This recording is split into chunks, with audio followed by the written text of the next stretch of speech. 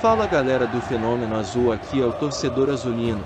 Sejam muito bem-vindos ao canal e vamos logo ao que interessa, que são as notícias do Clube do Remo.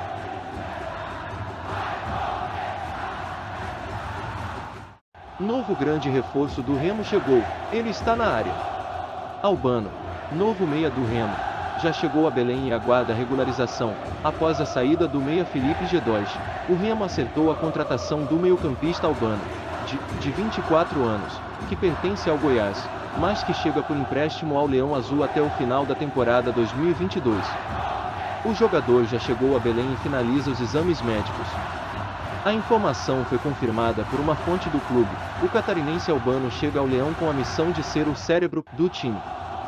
O clube que está carente da posição, já tentou a contratação de Albano no ano passado, quando ele ainda estava defendendo a equipe da Aparecidense, pelo Campeonato Goiano, para disputar a Série B do Brasileirão, mas o negócio acabou esfriando e o Meia terminou sendo comprado pelo Goiás, clube pelo qual jogou a Série B e conquistou o acesso à elite do futebol nacional. A diretoria azulina aguarda a regularização de Albano junto ao boletim informativo diário da CBF, vídeo para poder contar com o jogador na partida diante do Confianças, no próximo domingo, às 19 horas, no Estádio Batistão, em Aracaju. Para que Albano esteja apto para o jogo, é necessário que o nome do atleta seja protocolado e divulgado no BID até a próxima sexta-feira, 29. Ponto na atual temporada Albano acabou perdendo espaço no clube esmeraldino e atuou apenas 10 partidas, todas elas pelo Campeonato Goiano, dando uma assistência, no estadual o Goiás acabou ficando com o vice-campeonato, perdendo a decisão para o Atlético Goianiense.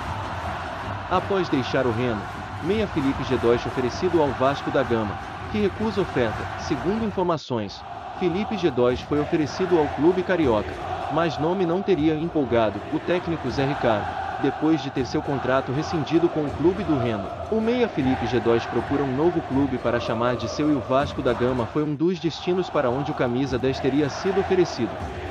O atleta foi desligado do elenco azulino após ter faltado um treino e ser cortado da relação de jogo contra o São José. Desde então, o jogador está livre no mercado e vem procurando uma nova agremiação, entre elas o Vasco da Gama.